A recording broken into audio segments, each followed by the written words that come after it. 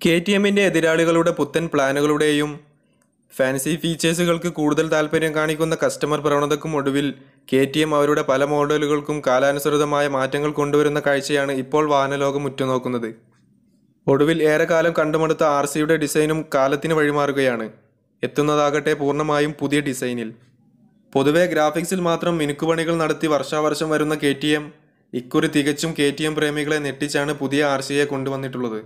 എത്തുന്നതാകട്ടെ ബൈബ്രയുടെ ഏറ്റവും പുതിയതും കൃത്യതയാർന്നതുമായ ബ്രേക്കിംഗ് സിസ്റ്റത്തോടു കൂടിയും ഡ്യൂക്ക് ടു ഫിഫ്റ്റിക്ക് സമാനമായ സ്പ്ലിറ്റ് റിലീസ് ഫ്രെയിമും തീർത്തും പുതിയ five leg alloy wheels semi T F T instrument console കൂടാതെ അടിമുടി മാറ്റത്തിന് വിധേയമായ ഡിസൈനും.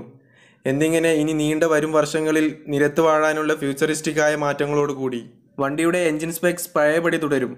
നിരാശകരമായ മറ്റൊരു കാര്യം കോസ്റ്റ് കട്ടിങ്ങിന്റെ ഭാഗമായി ഹെഡ്ലൈറ്റ് എൽ ഇ ഡിക്ക് പകരം ഹാലോജൻ ബൾബാണ് കമ്പനി കൊണ്ടുവന്നിട്ടുള്ളത്.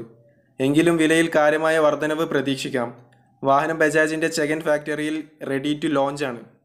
വാഹന സംബന്ധമായ എല്ലാ അപ്ഡേറ്റ്സും ആദ്യം അറിയാൻ അൺബോക്സിംഗ് ബി എന്ന ഈ ചാനൽ ഉടൻ തന്നെ സബ്സ്ക്രൈബ് ചെയ്യുക.